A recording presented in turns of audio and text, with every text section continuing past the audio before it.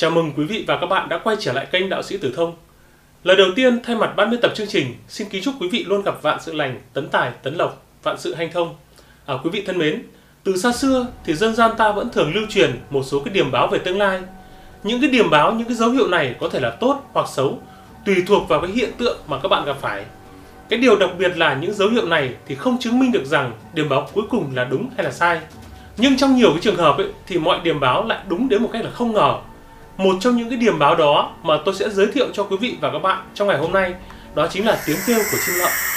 Thì từ xa xưa đến nay, chim lợn kêu được coi là một cái điều xui xẻo. Chim lợn kêu được mọi người đồn đoán là một điểm báo xấu, xui rủi, thể hiện cho cái chết.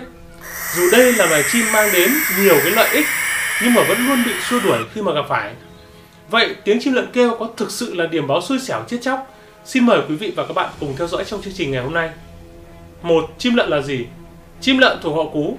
Chúng có tên gọi như thế bởi tiếng kêu của chúng rất giống với tiếng lợn. Loài chim này được tìm thấy rất nhiều ở khu vực châu Á và Bắc Mỹ. Chim lợn có kích thước trung bình so với các loài chim khác và có phần đầu lớn, đôi mắt to, tròn và đen. Phần mỏ của chim thì hơi quặp, có phần trên dài hơn phần dưới. Đặc biệt loài chim này có tai nhưng mà bị cái lớp lông vũ nó mềm, nó phủ, nó che đậy. Chim lợn là loài động vật săn mồi, chuyên hoạt động về ban đêm và ẩn nấp vào ban ngày. Thường là không di trú, sống theo các cặp hoặc là đi đơn độc một mình. À, chúng thường thích ăn các loại con mồi như là thằn lằn, chim non hoặc là chuột. Mặc dù di chuyển chậm chạp, nhưng trong lúc săn mồi thì chim lợn lại phóng với tốc độ rất là nhanh.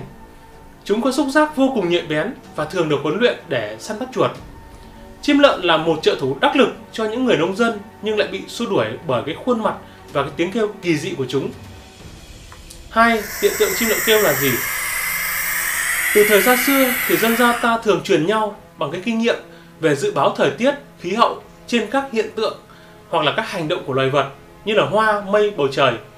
Chẳng hạn như khi thấy quả gà mọc thì đó là điểm báo trời sắp mưa, còn nếu thấy xuất hiện nhật thực, nguyệt thực thì đây là một hiện tượng vô cùng xấu. À, có thể thấy cái điểm báo là cách dự đoán vô cùng tự nhiên, không hề theo một cái quy luật nào cả. Chỉ dựa vào một bài thơ về chuồn chuồn thì cũng có thể dự báo là ngày hôm nay có mưa hay là không. Hoặc nếu có lũ thì kiến và các loại côn trùng sẽ gì di chuyển lên cái nơi cao hơn. Ở trong cuộc sống, mỗi loài vật đều có cái linh tính, vì vậy chỉ cần chú ý quan sát những cái hành động của chúng là đã có thể đoán được những cái hiện tượng nào sắp xảy ra. À, đối với chim lợn cũng vậy. Thực ra chim lợn kêu chỉ là một cái hiện tượng thông thường của chúng trong cái chuyện sinh tồn. Tuy nhiên, khi mà âm thanh eng ép được cất lên, nhiều người lại cảm thấy sợ hãi và dùng mình. Đặc biệt, cứ chỗ nào mà có tiếng chim lợn kêu ấy, thì chỗ đó lại có những hiện tượng xấu xảy ra. Thì nơi đó lại xuất hiện những cái hiện tượng không may đối với gia đình, với con người ở đó. Từ đó mọi người thường truyền tay nhau về cái điểm báo chẳng lành khi mà loài chim lợn này cất tiếng kêu. Ba, chim lợn kêu là điểm báo gì? À, liệu cái tiếng chim lợn kêu có thực sự mang đến cái sự chết chóc? À, xin mời quý vị hãy cùng giải mã tiếng chim lợn theo các quan niệm dưới đây. Thứ nhất, tiếng chim lợn kêu theo quan niệm của dân gian. À, theo quan niệm dân gian, chim lợn kêu thường báo hiệu cho sự chết chóc hoặc những cái việc không may mắn. Nếu gia đình nào thấy chim lợn đậu trên mái nhà hoặc bay thẳng vào nhà và kêu eng ép thì tức là sắp có người mất hoặc là có một việc chẳng lành nào đó sẽ ập đến trong thời gian rất ngắn. Không ai có thể khẳng định chắc chắn được điều này, nhưng đã có rất nhiều cái trường hợp diễn ra. Không ít những gia đình mà khi nghe thấy cái tiếng chim lợn gần nhà ấy, thì chỉ một khoảng thời gian sau, một khoảng một thời gian ngắn sau thì gia đình có người mất. Vì vậy, cái điểm báo này được lan truyền rộng rãi. Ngoài ra trong tiếng lóng của người Việt thì chim lợn còn dùng để chỉ những người xấu, thường xuyên rình mò như cú hay là những người làm ăn phi pháp. Dưới đây là cụ thể một số báo hiệu về tiếng chim lợn kêu trong dân gian mà bạn nên biết. À, chim lợn kêu 7 tiếng liên tục là điểm báo cho cái chết của nam giới. Chim lợn kêu 9 tiếng liên tục là điểm báo cho cái chết của nữ giới. Chim lợn kêu một tiếng là báo hiệu sắp có tin xấu từ nơi xa trở về. Chim lợn kêu hai tiếng liên tục là báo hiệu trong gia đình có người sắp bị bệnh nặng mà không qua khỏi.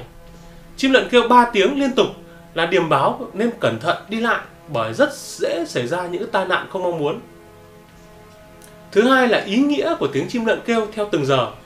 Thì bên cạnh đó, theo quan niệm dân gian thì chim lợn kêu từng giờ cũng báo hiệu những điều không may mắn khác nhau. Nó cụ thể như sau. Chim lợn kêu từ lúc 19 giờ đến 21 giờ nó báo hiệu gia đình sắp rơi vào cái khó khăn. nên là các bạn cần phải lưu ý cẩn trọng. Thứ hai là chim lợn kêu vào lúc 21 giờ đến 23 giờ là điểm báo có tin xấu từ phương xa trở về. Chim lợn kêu từ 23 giờ đến 1 giờ sáng là điểm báo xấu với trẻ em, cần phải chú ý cẩn thận trong khoảng thời gian này. À, chim lợn kêu lúc 1 giờ đến 3 giờ sáng thì báo hiệu sắp xảy ra cái tai nạn xe cộ bất ngờ. À, chim lợn kêu từ 3 giờ đến 5 giờ sáng là điểm báo có người ốm ra đi một cách lặng lẽ. Chim lợn kêu vào ban ngày thì thường không ứng với những điểm báo xấu nào, nên là các bạn cũng không cần phải quá lo lắng. Thứ ba, chim lợn kêu theo quan niệm của Phật giáo. Ở trong Phật giáo, mọi sự diễn ra đều theo cái luật nhân quả. Bạn có cho đi cái gì thì sẽ nhận lại được những cái đó. Cái mối quan hệ nhân quả cứ như vậy mà tuần hoàn theo thời gian. Nếu như bạn hướng thiện, thường xuyên làm những điều tốt thì sẽ nhận lại được những phước đức. Còn nếu làm điều xấu xa, độc ác, hãm hại người khác thì sẽ nhận lại những quả báo, những báo ứng. À, chính vì cái điều này thì có thể nói chim luận kêu hoàn toàn không phải là cái yếu tố quyết định đến cái vận may hay là điểm gỡ. Mọi điều tốt, xấu đều xuất phát từ bản thân của mỗi con người. Muốn bình an, may mắn thì nên sống lương thiện, biết cách giúp đỡ người khác, chắc chắn những điều tốt đẹp sẽ đến với bạn. Theo lời giải thích của Phật giáo thì chim lợn là một loài chim có khứu giác rất là nhạy bén, có thể ngửi được mùi của người chết. Đặc biệt, chim lợn rất thích cái mùi này.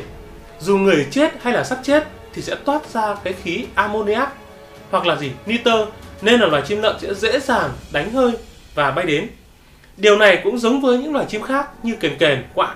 Do đó có thể khẳng định chim lợn kêu chỉ vì cái miếng ăn chứ không hề mang cái điểm gở đến cho cho con người. 4. Cần làm gì khi có tiếng chim lợn kêu trong đất nhà bạn? Thực ra, tiếng chim lợn là một phản ứng sinh lý bình thường của chúng, dùng để đe dọa con mồi trong lúc đi săn. Điều này làm con mồi sợ hãi bỏ chạy, giúp chim lợn dễ dàng quan sát được cái mục tiêu. Bên cạnh đó, không phải lúc nào chim lợn cũng kêu, có thể là do nhiều cái lý do sinh tồn khác nữa. Đặc biệt là trong mùa sinh sản, vì cần gia tăng cái lượng thức ăn nên chúng phải nỗ lực săn mồi nên cũng sẽ kêu nhiều hơn cũng như là để giúp thu hút được cái bạn tình. Thực tế cho thấy dù chim lợn có kêu hay là không kêu thì mỗi ngày vẫn có hàng ngàn hàng chục ngàn người chết.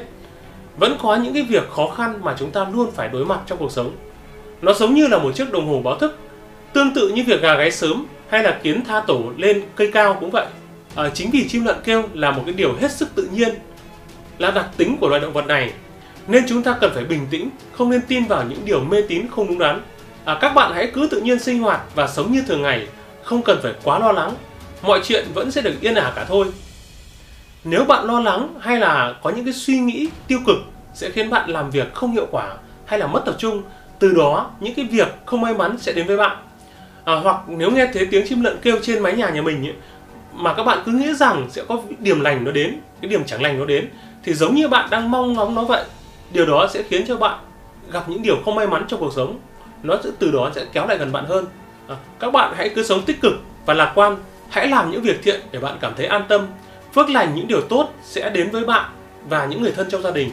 Chim lợn thực ra là một loài vật vô cùng thông minh, không gây hại và còn gì là bạn của nhà nông.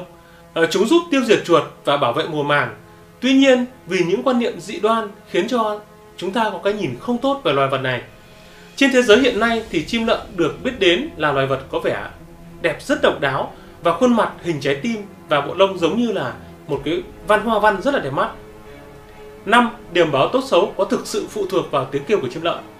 À, có thể nói, vạn vật trên thế giới này đều tuân theo quy luật nhân quả.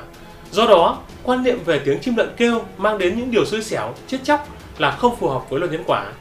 Có thể nói, mọi cái may mắn hay xui xẻo mà chúng ta nhận được là dựa vào cái phước của chúng ta. Đúng không? Dù điểm hay hay điểm gở thì đều do chính chúng ta tạo ra. Không phải quá phụ thuộc vào cái này hay là cái kia. Cái việc chim lợn kêu ấy chỉ là một quan điểm cố hữu trước những cái sự sắp diễn ra mà thôi và cũng không thể chính xác hoàn toàn. Vậy nên để cuộc sống thêm phần an lành thì các bạn nên học hỏi và thực hiện cái lối sống theo lời dạy của Phật. Chỉ khi sống tốt, sống đẹp thì phước báu của mỗi người mới được tăng trưởng, giúp cho thu hút được nhiều cái điều may mắn. Việc tin hay không tin vào cái điều gì đó thì phụ thuộc vào cái cách nhìn cũng như là suy nghĩ của mỗi con người. Vì vậy, cái niềm tin là tiếng chim lợn kêu là cái điều báo hiệu cho sự chết chóc, cũng giống như việc chúng ta tin vào cái chuyện là chim khách kêu là báo hiệu nhà có khách. À, tóm lại, chim lợn kêu không phải là cái yếu tố ảnh hưởng đến cái điểm báo là tốt hay là xấu. sở dĩ loài chim này bay và kêu ấy, chỉ là do chúng đang săn mồi hoặc là ngửi thấy cái mùi khí trên cơ thể của người. Đó. Vì vậy, chúng ta cần phải luôn có cái nhìn đúng đắn trước khi đánh giá mọi vấn đề. Ở qua video mà tôi chia sẻ cùng quý vị trong ngày hôm nay có lẽ đã phần nào giúp cho các bạn giải đáp được câu hỏi là chim lợn kêu có thực sự là điểm báo xấu hay không. À, mặc dù như vậy, nhưng đây cũng chỉ là quan niệm dân gian. Các bạn nên tham khảo để có thêm cho mình những cái thông tin và cũng không nên quá lo lắng khi mà nghe thấy tiếng chim lợn kêu mà chỉ làm ảnh hưởng đến cuộc sống hàng ngày. Cảm ơn quý vị và các bạn đã quan tâm theo dõi. Quý vị đừng quên đăng ký kênh và nhấn vào chuông thông báo để ủng hộ cho chương trình. Còn bây giờ xin chào và hẹn gặp lại quý vị ở các video tiếp theo. Xin cảm ơn.